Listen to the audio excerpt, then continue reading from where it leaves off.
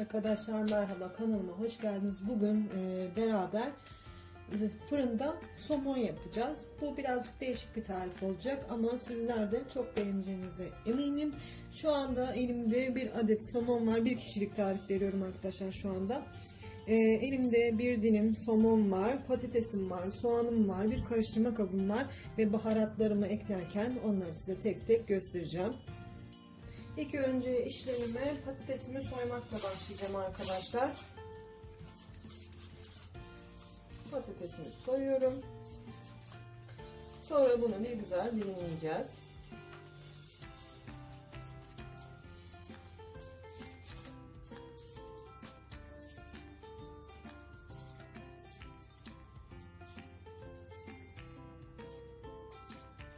Bunu bir yıkayalım.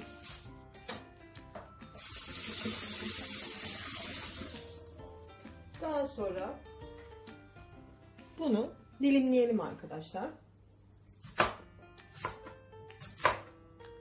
Böyle kızartmalık patates gibi hazırlayacağız patateslerimizi. Kalbi.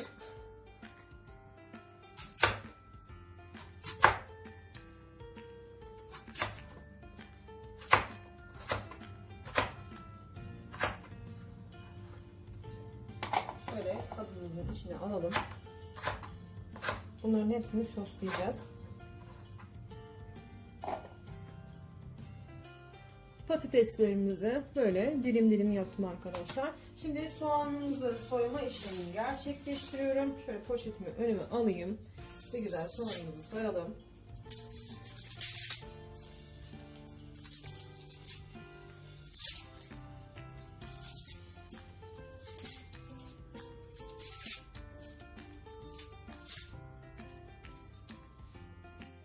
Soğanımızı soyup yıkadıktan sonra da bunu da doğruyoruz arkadaşlar. Bu şekilde.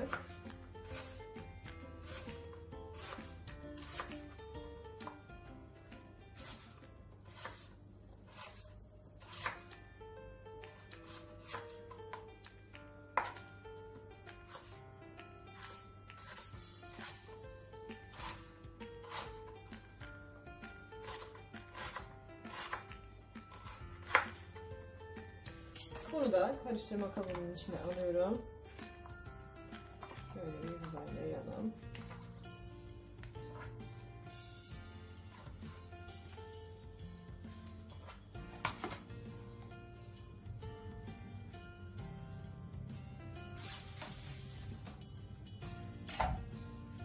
Bu da bu şekilde olacak.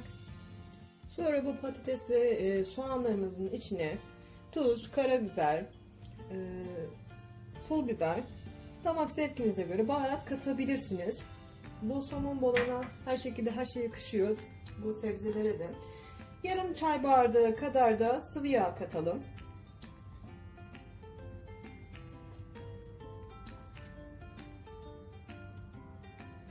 Ve e, bunları böyle bir güzel karıştıralım. Daha sonra bunları somonla birlikte karıştıracağız. Bu şekilde. Her tarafına karıştıralım. Dediğim gibi baharat e, miktarı vermiyorum. Siz damak zevkinize göre e, arttırıp azaltabilirsiniz. Somonumu da içine alıyorum ve elimle karıştırıyorum arkadaşlar. Şöyle birbirine harmanlıyorum. Siz somonum da baharatlardan nasibini alsın iyice. Somonun yanına patates gidiyor. Arkadaşlar kabak gidiyor. Kesinlikle denemelisiniz. Fırında kabak müthiş oluyor. Küp küp doğrayın. Ee, somonla birlikte e, kabakları da fırınlayın. İnanılmaz yani uyumunu diyeceksiniz ki yani somonla kabak olur mu? Oluyor arkadaşlar. Çok lezzetli. Şimdi bunu bu şekilde alıyorum ve yanlarına patateslerimi, soğanlarımı yerleştiriyorum.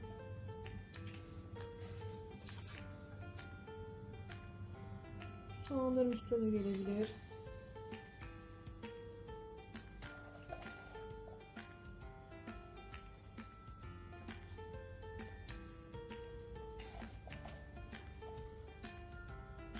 Soğanlarım üstüne. Yaklaşık fırınınızın e, ayarına göre benim fırınıma göre 30 dakikada pişecek bu yemek. Sizinkisi fırının özelliğine göre değişebilir. Patatesler zaten piştiği anda arkadaşlar balık çoktan pişmiş olur. Burada önemli olan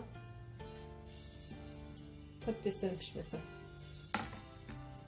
Balık zaten çok çabuk pişebilen bir Arkadaşlar karışımım dediğim gibi böyle e, patateslerin pişene kadar 180 derece fırında pişirmeye bırakıyorum. Pişirdikten sonra servis tabağına alayım size göstereceğim. Arkadaşlar somon balığım pişti. E, bu şekilde oldu. Müthiş kokuyor şu anda. Keşke kokuyu da gönderebilsek. Bakın piştiğinde kanıtlı.